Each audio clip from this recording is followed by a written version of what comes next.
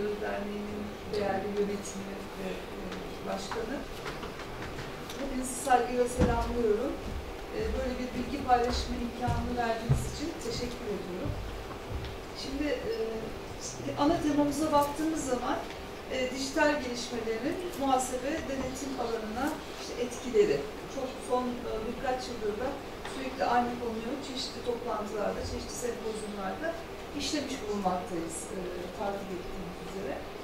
Dolayısıyla e, benim bana ayrılan bölümde denetim standartlarına genel bakış. Ben iki e, ana odak e, nokta belirledim kendime.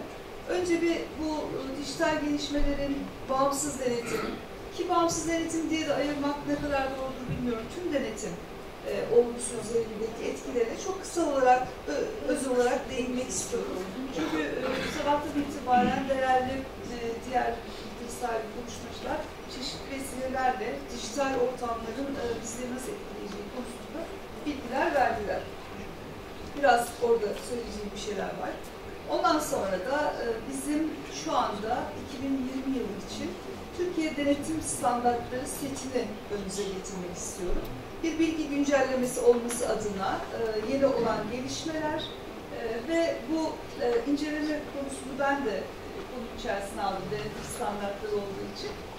Ali Bey'e e, idareten 3 yılki 2016, 2017, 2018'deki inceleme sonuçlarının bir karşılaştırmasını e, yapmak istiyorum. Buradan varmak istediğim nokta şu, aslında hangi denetim standartlarında sorun yaşanıyor? Tabii buradan yola çıkarsak niye sorun yaşanıyor belki bir konuşma, bir soru, bir cevap e, arayabiliriz. Böyle bir soru yapmak istiyorum. Umarım e, sizler için e, sıkıcı olmaz. E, yemek öncesi saatler sıkıntılı olduğu gibi yemekten hemen sonraki saatler de biraz maalesef sıkıntılı oluyor. Mümkün olduğu kadar canlı tutmaya çalışacağım. E, başarabilecek miyim bilmiyorum.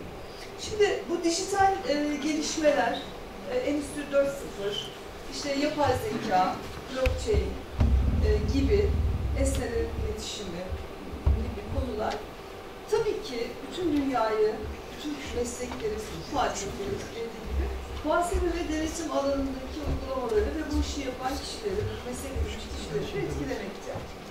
E, küreselleşme diyoruz zaten, uluslararası ticaret diyoruz, teknolojik gelişmeler diyoruz. E, mümkün değil hani uzakta kalabilmemiz, duymamış olabilmemiz mümkün değil. Ben şöyle düşünüyorum, e, muhasebe meslek ve muhasebe e, uygulamaları ne kadar etkileniyorsa doğal olarak bizi denetim yapan taraf olarak da bağımsız denetçiler, gerek iç denetçiler, tabii ki kamu denetçileri. Herkes de aynı derecede, aynı hızda bundan etkilenecek. Çünkü bir taraf veriyi sağlıyor, bir taraf veriyi kontrol ediyor. Ne kadar teknolojiyi kullanabiliyorsa veriyi sağlayanlar, kontrol edenler de aynı şekilde, aynı hızda o teknolojinin içerisine girerekten e, kendi alanlarını geliştirmek zorundalar. Şimdi e, çok iyi midir Endüstri 4.0, teknolojik gelişmeler, bu bir sürü sayılan e, yeni uygulamalar? E, acaba e, avantajları ne, dezavantajları ne? Tabii avantajları var. Bir kere hız kazandırıyor bize. Çok kazandırıyor, çeviklik kazandırıyor. Hem muhasebe alanında hem denetim alanındaki uygulamalarda. E, anında bilgiye erişiyoruz. Anında bilgiyi sunabiliyoruz. Anında denetleyebiliyoruz. Sürekli denetleyebiliyoruz. Sürekli taze denetim bilgisine ulaşabiliriz. Keza muhasebe tarafı da aynı. E, bunların hepsi çok iyi ve güzel görünmekle birlikte tabii burada çok önemli bir problem var. Çeşitli yerlerde de mutlaka tartışılır, rast geldiniz. Burada bir güvenlik sorunu ortaya çıkıyor. Dijital güvenlik, e, verilerin korunması, verileri en iyi şekilde yönetebilmek, en iyi şekilde yararlanabilmek, bunun da oldukça büyük riskleri ortaya çıkıyor. Siber güvenlik. Yani evet her şeyin hem iyi, bir iyinin içinde biraz kötü, kötünün içinde biraz iyi vardır. İşleyişi bu mekanizmaların içerisinde de doğal olarak işleyecek. Ee, biraz evvelki e, sunum yapan Erhan Bey en sonunda şu sorudan korkuyorum dedi. Sordum kendime dedi. Ben de o anda korktum zaten. Hani yapay zekaların, robotların birbirleriyle iletişerek kendi başlarına, kendilerine uygun bir denetim mecrasına girmesi mümkün olabilir mi acaba? Nitekim korkunun getirdiği e, durum bir yerde durduruyorlar. E, ilerlemeyi de durdurmuş oluyorlar. Ben tabii e, Ali Bey sunarken de mutlaka sizler de düşünüyoruz. Şimdi sürekli bir mes e, denetçi muhakemesinden bahsediyoruz. Mesleki yargıdan bahsediyoruz. Mesleki şüphecilikten bahsediyoruz. Denetimin çok temel taşı. E, yapay zekaya bunu ne kadar e, benimsetebileceğiz? Hani çok da, dağınık bilgiler geldiği zaman sanki her şeyi böyle onlar elimizden alacak, onlar her şeyi yapacak, biz ne yapacağız? Öyle ya hani mesleklerde de işte en çok muhasebeciler e, işsiz olacak, en çok denetçi alanını e, yaralayacak bu teknolojik gelişmelerde aslında öyle olmayacak. Bana göre hiç öyle olmayacak. Çünkü e, o zekayı yaratan biziz, onun içerisine denetimin nasıl yapılacağı ile ilgili yazılımı hazırlayan biziz. E, biz ne kadar mesleki şüpheciysek ona yükleyeceğimiz, e, yapacağı incelemeler ve işlemler de o ölçüde mesleki şüpheci olacak. Örneğin e, Ali Bey 315 numaralı standarttan bahsetti ki çok önemli bir standart o. E, finansal tablolarda nerelerde önemli yanlışlıklar olabilirin önceden incelenmesi, planlama aşamasında başlayan bir standart. Şimdi orada önemli yanlışlıklarla ilgili nasıl muazzam, güzel, bütün işte sektörlere de uyabilecek bir e, veya sektör sektör bir yazılım vereceğiz ki o yapay zekaya o bir denetçinin muhakemesini yerine geçerek e, işlem yapabilir. Sonuçta mekanik, elektronik diyorlar. Ne veriyorsa o çıkacak. Dolayısıyla e, güç yine bizde. Böyle baktığımız zaman e, hiçbir şahıs olarak hiçbir endişem yok. E, biz yöneteceğiz.